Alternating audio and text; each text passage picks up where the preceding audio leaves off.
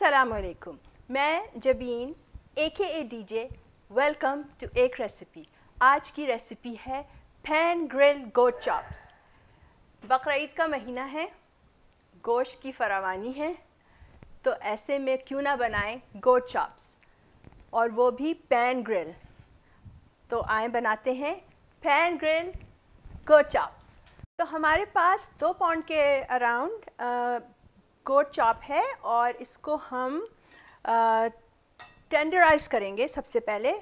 मैं जिस चीज़ से टेंडराइज कर रही हूँ, वो है raw papaya and ginger raw papaya like one third cup के करीब है और ये जिंजर जो है वन टेबल स्पून इन सबको मैं थोड़ी सी देर के लिए ब्लेंड करूँगी ब्लेंडर में पानी डाल के और पानी थोड़ा सा ज़्यादा डालेंगे हम ताकि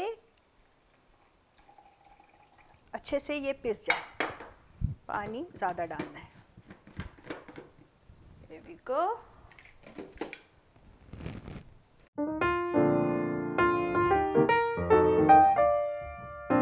तो ये हमारा ब्लेंड हो गया है और हमने इसको थोड़ा सा पतला इसलिए रखा है कि हम इसको हाफ़ एन आवर के लिए इस लिक्विड में मैरिनेट करेंगे और फिर इस लिक्विड में से निकाल के बाकी मैरिनेशन की चीज़ें डालेंगे। लिक्विड हमें, हमने यूज़ नहीं करना। लिक्विड को हम डिस्कार्ड कर देंगे after half an hour marination की। तो अब इसको हम इसी तरह छोड़ते हैं। थोड़ी सी देर इसको ऊपर नीचे कर लेते हैं ताकि अच्छी तरह कोट हो जाए ये इस लिक्विड से। और फिर इसको रखते हैं, अपने रेफ्रिजरेट करते हैं फॉर हाफ़ एन आवर तो वेलकम बैक हमारे हाफ़ एन आवर के बाद हम अपने चॉप्स को दूसरे बर्तन में ट्रांसफ़र कर रहे हैं. एज यू कैन सी कि इसमें लिक्विड है ज़्यादा तो हम अब मैरिनेशन के लिए दूसरे बोल में ट्रांसफ़र कर रहे हैं और करेंगे इसमें मैरिनेशन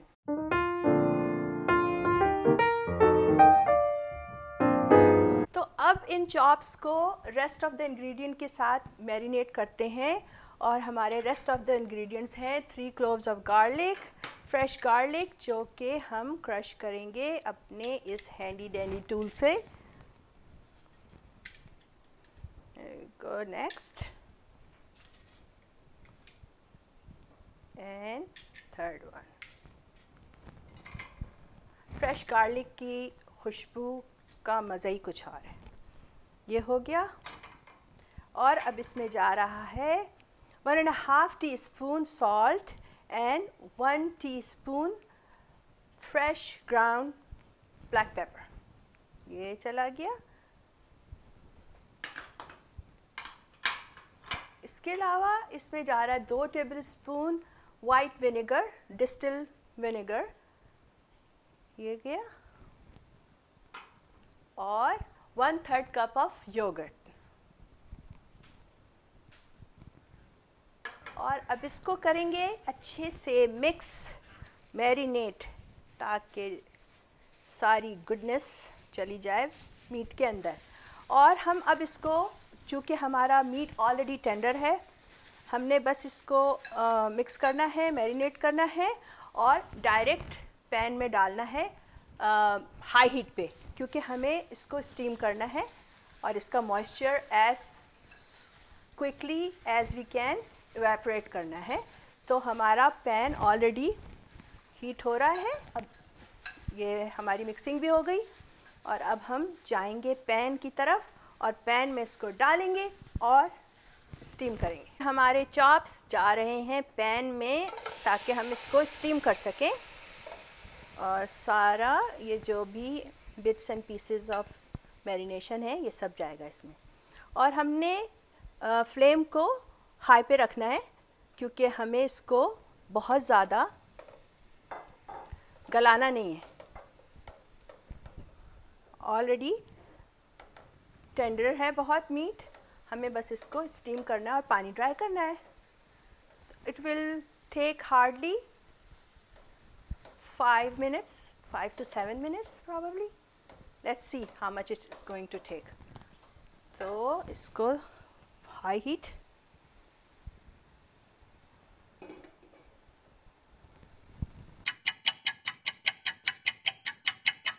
ये देखें एग्जैक्टली सेवन मिनट्स में सारा का, सारा वाटर जो है इसका गायब हो गया है और वाटर हमने डाला नहीं था। जो भी मॉइस्चर था मीट में इट्सल्फ और योगर्ट में और जो थोड़ा सा हमने इसमें टू टेबल स्पून विनेगर डाला था that's all the water we use that's all the moisture we had in here तो वो सारा का सारा एवेपरेट हो गया है और अब हम इसको पैन ग्रिल करेंगे इन और इसको खूबसूरत खूबसूरत सा बनाएँगे। तो चलें, चूल्हा बंद करते हैं और चलते हैं अपने दूसरे पैन की तरफ़। तो just to give you a better view मैं आज ये इलेक्ट्रिक पैन यूज़ कर रही हूँ ताकि आपको अच्छा सा नज़र आए यहाँ पर। तो हमारा पैन जो है वो ज़बरदस्त किस्म से हमने इसको रखा हुआ है 425 पर। और ये अच्छे से हो गया है थोड़ा सा ऑयल डालेंगे लाइक टू टेबल स्पून और थोड़ी सी आँच कम करती हूँ मैं 400 पे कर रही हूँ और अब इसमें हम डालेंगे अपनी chopping. Ah, look at the sizzling sound. Actually, listen to. Oh, okay. ये जनाब पार्टी शुरू हो गई है पैन में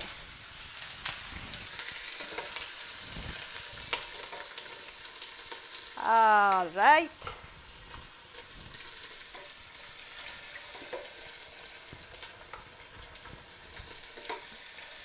That's the lovely sound.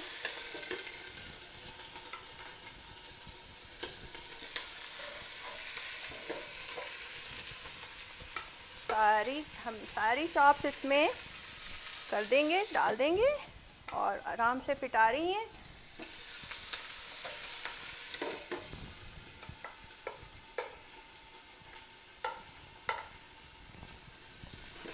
Go. और अब ये हमारी गई लास्ट वन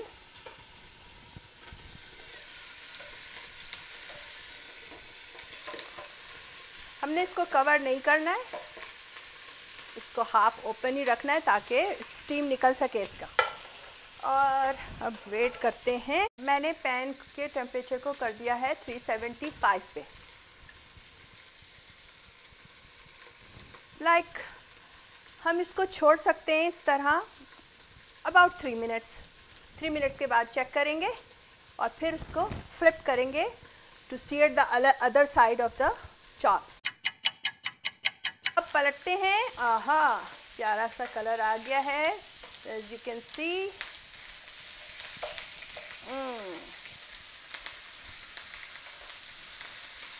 looking good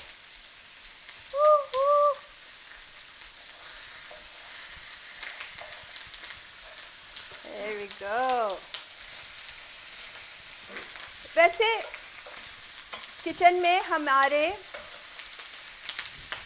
पूरे फाइव सेंसेस ओपन होते हैं you can tell all of us use five senses you know we can we are looking at the food we can smell it we will taste it and we can touch of course and sometime तो हमारी six sense भी काम करती है, क्योंकि हमें पता चल जाता है कि this dish is gonna go fast तो सिक्स सेंस ने भी काम कर दिखाया। हाँ बात दैट तो मैं ख़ास से इसको हम इस साइड पे दो मिनट के लिए छोड़ते हैं। मिलते हैं दो मिनट में। तो आफ्टर टू मिनट्स हम करते हैं चूल्हे को अपने बंद और इसको निकालते हैं और इस निकालने से पहले इस पर थोड़ा सा लाइम जूस और लेमन जूस जो भी अवेलेबल है आपके पास, ये डाल सकते हैं।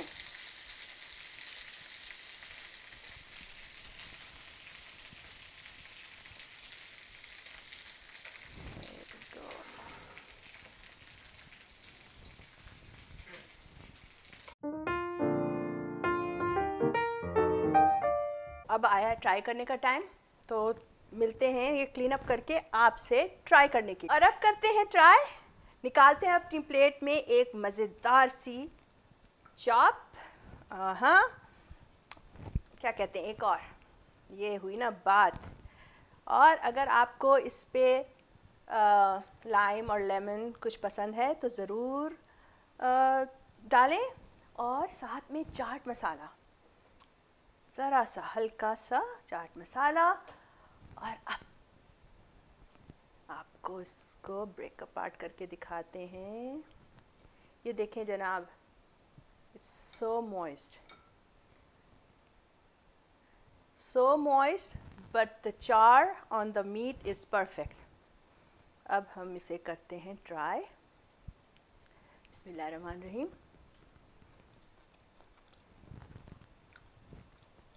सीजनिंग परफेक्ट और जो ऊपर से चाट मसाला और लेमन मज़ा दे रहे हैं, वो आपको ट्राई करना ही पड़ेगा।